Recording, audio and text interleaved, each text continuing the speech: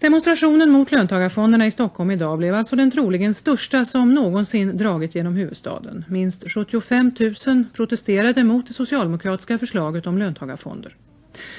Motståndare från hela landet kom under förmiddagen till Stockholm och samlades i Humlegården. Rapport följde en av demonstranterna, den socialdemokratiska småföretagaren Gideon Hartman från Skellefteå. Skellefteå, ett grundmurat socialdemokratiskt fäste i Västerbotten. Här ligger Hartmans värme, ägt av Gideon Hartman med fem anställda.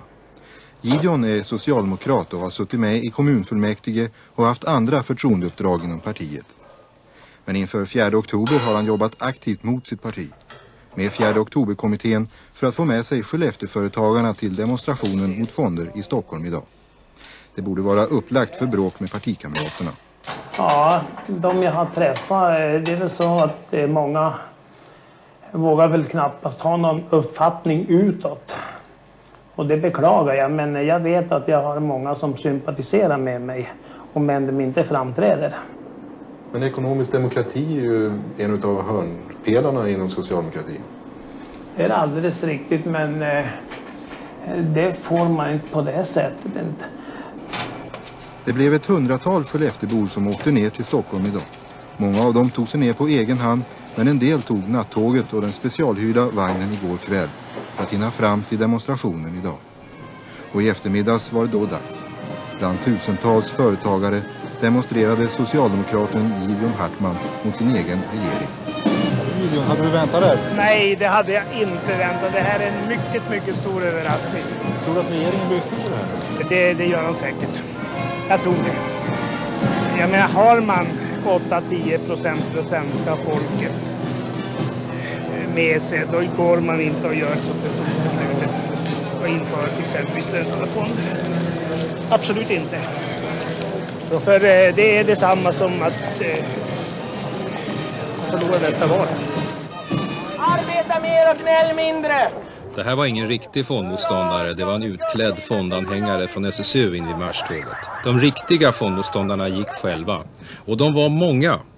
Tjänstemän mot löntagarfonder. Och småföretagare mot löntagarfonder. Och stora direktörer i näringslivet mot löntagarfonder. Minst 75 000 motståndare mot löntagarfonder tågade till riksdagshuset. Kanske var det ännu fler, kanske uppåt 100 000 människor.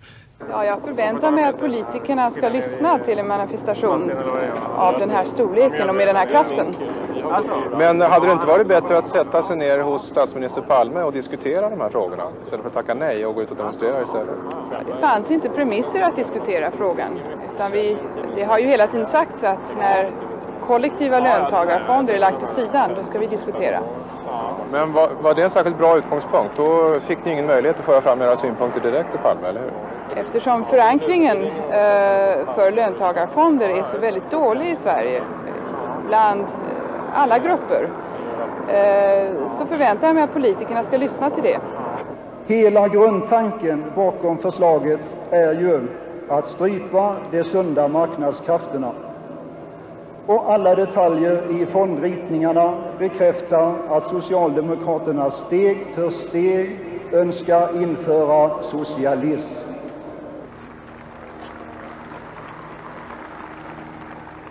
Jag är småföretagare från Svärdsjö, Dalarna med 30 anställda. Idag har företaget stängt för att alla som så önskar skulle kunna åka med hit till Stockholm och visa sitt motstånd till löntagarfonderna. Sen gick mannen bakom hela aktionen upp och sa att de enda riktiga fondanhängarna är en liten hård kärna av fackliga och politiska ombudsmän. De gör inte bästa. De gör det inte för Sveriges bästa. De gör det enbart för egen vinnings skull. De vill ta makten över Sveriges näringsliv. För Sveriges bästa, nej till löntagarfonder. Sen gick Randholm och de andra som organiserat demonstrationen till den väntande talmannen och de borgerliga partiledarna och lämnade över sitt budskap. En på många sätt historisk demonstration i Stockholm var till ända. Socialdemokraterna hade tre egna utsända som räknade antalet demonstranter längs tågets väg och de kom fram till att det var 27 600. Betydligt färre alltså än polisens uppskattning till 75 000 personer. LOs avtalssekreterare Harry Fjällström säger att direktörernas demonstration kommer att gå till historien som ett fiasko. Det är frapperande att man kan bygga upp en stor demonstration mot något som inte finns. Protesterna gäller inte förslaget om löntagarfonder utan något slags spöke som företagarna själva byggt upp, säger Harry Fjällström. Två tredjedelar av de röstberättigade vill ha folkomröstning i löntagarfrågan, i löntagarfondsfrågan. Det visar en undersökning som gjorts av stiftelsen Opinionsanalyser och Statistiska centralbyrån. Ja, demonstranternas mål idag det var som vi såg riksdagen där talmannen Ingemund Bengtsson och de borgerliga partiledarna fick ta emot fondmotståndarnas manifest. Och då hade riksdagens talman redan en historisk dag bakom sig. Idag flyttade riksdagen åter till Helgeandsholmen efter 12 år på Sergels torg. Efter långa och dyrbara och omfattande ombyggnader så står den nya riksdagen klar. Ceremonielet var för dagen helt nytt. Högtidligheterna började i Storkyrkan. I Storkyrkan samlades politikens toppar och näringslivets. Några representanter för allmänheten fick också plats. Sist kom kungaparet för att vara med på den gudstjänst som föregick riksdagens högtidliga öppnande.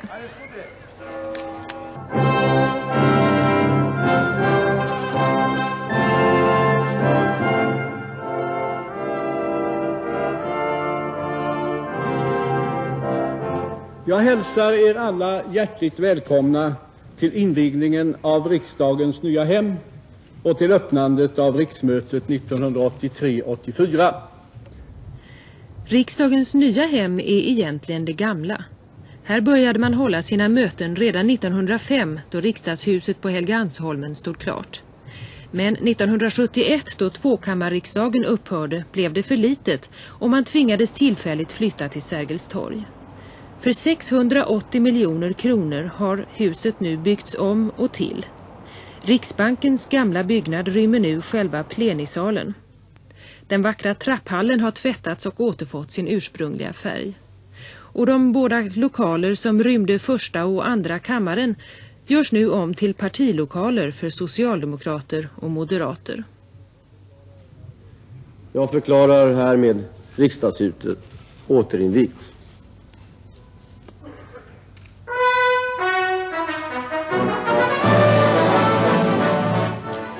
Den nya plenisalen är från tak till golv klädd i björk och till det ljusa intrycket bidrar också den långa fönsterraden ovanför åhörarläktaren. Men i och med statsministerns regeringsförklaring var det slut på festligheterna. Nu börjar åter allvaret för Sveriges riksdag.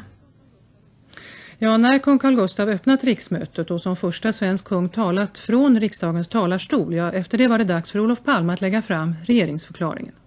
Och medan tiotusentals fondmotståndare tågade mot riksdagshuset så talade Palme inne i plenisalen om den trygghet för Sverige som ligger i löntagarfonderna. Statsministern talade också om att det väntar nedskärningar i de offentliga utgifterna. I regeringsförklaringen lovade statsministern nya åtgärder mot arbetslösheten och han förutskickade både besparingar och skattehöjningar för att sanera statens ekonomi.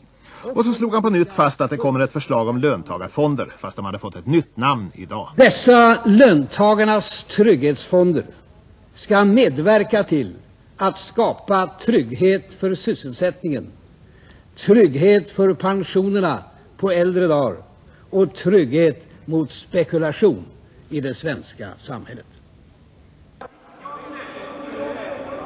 Men knappt hade statsministern sagt det så var riksdagshuset nästan omringat och belägrat av demonstranter just mot löntagarfonder. Och det ger samtidigt en bild av det politiska läget för regeringen Palme just nu.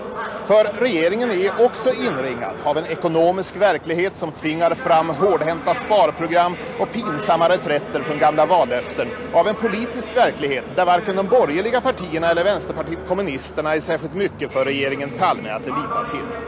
Egentligen och i sak så borde de borgerliga partierna kunna hjälpa regeringen med arbetet att sanera Sveriges affärer. För de borgerliga partierna vill ju i princip spara minst lika mycket i statsfinanserna som regeringen vill. Men så länge löntagarfonderna är en huvudfråga så tycks den politiska muren mellan maktblocken vara helt oöverstiglig.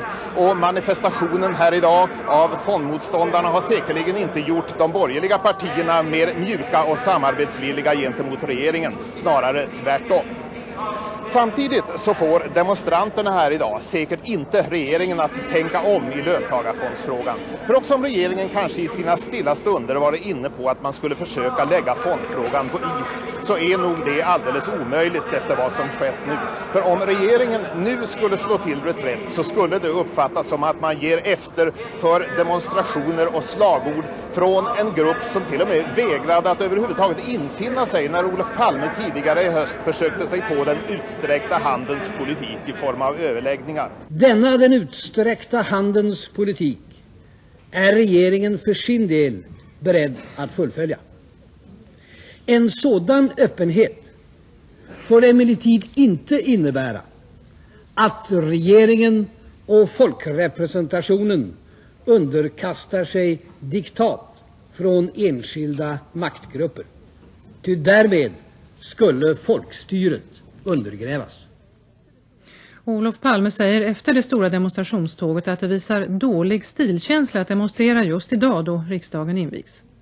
Men han vill inte kritisera demonstranterna i och för sig, säger han till Rapport. Palme är däremot kritisk mot SAF, Svenska arbetsgivareföreningen, som inte ville tala fonder med Palme när statsministern bjöd in till överläggningar. Jag eh, tycker egentligen de ska demonstrera hur mycket de vill. Jag kanske inte stilkänslan var så stor att välja just den dag som är folkrepresentationens dag som inviger ett nytt hus. Att döma av opinionsundersökningarna så är det ju faktiskt demonstranterna idag som företräder folkopinionen i löntagarfondsfrågan. Vad säger du om det? Eh, jag har aldrig låtit opinionsundersökningar styra politiken. De la ner 60 miljoner eller vad det var i valrörelsen för att göra valrörelsen till en fråga om löntagarfonder. Och ändå vann vi.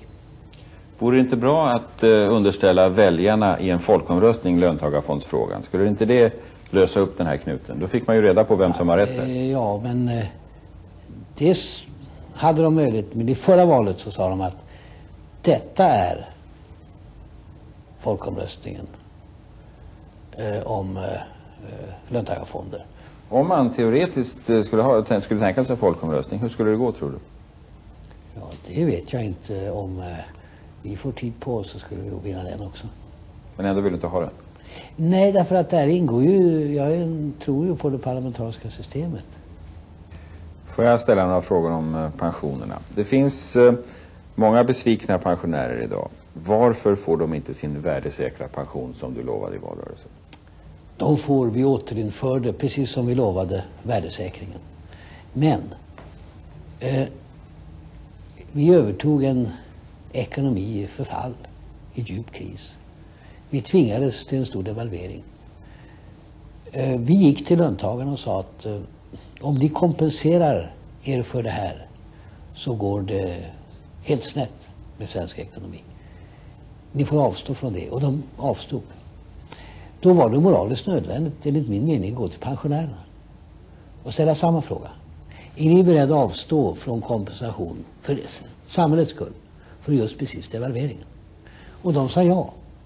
Det vi är oense nu det är om det är 2% eller 4% som devalveringseffekten är. Men principen är, är vi överens om.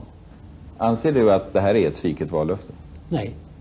Jag anser att eh, eh, genom den uppgörelse vi fick med pensionärerna efter valet så valde vi eh, en linje som innebär att vi dels kunde hålla det grundläggande vallöftet om värdesäkringen och dels klara den uppoffring man rimligen kunde begära också av pensionärerna. Men kan man inte ändå säga att mittenregeringen och Moderaterna var hedligare som sa före valet att de skulle genomföra den här försämringen? Nej, men nu har du missuppfattat för att de gick ut i 1979 års val och sa att vi rör aldrig värdesäkringen. Och Fälldin talade om sin gamla mor. Eh, sen, efter valet, så utan att ens tala med pensionärerna så genomförde de ett delvis upphävande av värdesäkringen. Och så, de handlade ju mycket värre än vi någonsin gjorde. Så när de klagar idag är det verkligen ett skrymteri. Det är inte så att man kan säga att ni handlade på ungefär samma sätt? Nej, jag tycker inte det. För det finns denna tre helt avgörande skillnader. För det första att vårt är en engångshistoria och sen löper systemet precis som förut. För det andra att vi hade denna klara anknytning till en, en, en oväntad händelse, nämligen devalveringen. Och för det tredje att vi tog upp långa resonemang med pensionärerna eh, först och fick deras principiella godtagande utav det här. Men nu är de ju inte överens med er när det gäller hur många kronor det här ska handla om. Nej, de tycker att vi, de räknar på ett annat sätt än vi. Och vi har bara gått efter Statistiska centralbyråns beräkningar. Men vad är principen värd när ni inte är överens om pensionshöjningarna? Ja, det är väl en... eh, De är alltså med på en avräkning med 2% och vi tycker det ska vara en avräkning på 4 Det är ju... En avräkning ska det vara och värdesäkring ska det vara. Det är vi helt överens om. Och sen är det summan som eh, vi räknar på olika sätt. Men vad tror du betyder någonting för den vanliga pensionären i Falun? Principen eller summan? Ja, för honom betyder det väldigt mycket att principen ligger fast. Han kan räkna med värdesäkra pensioner. Men han får precis som metallarbetaren i samma farstun göra en uppoffring på grund av arvet från det borgerliga vanstyret. Och här lämnar vi de inrikespolitiska storhändelserna kring riksdagen och löntagarfondsprotesterna men vi ska återkomma till dem i magasinet omedelbart efter Rapport.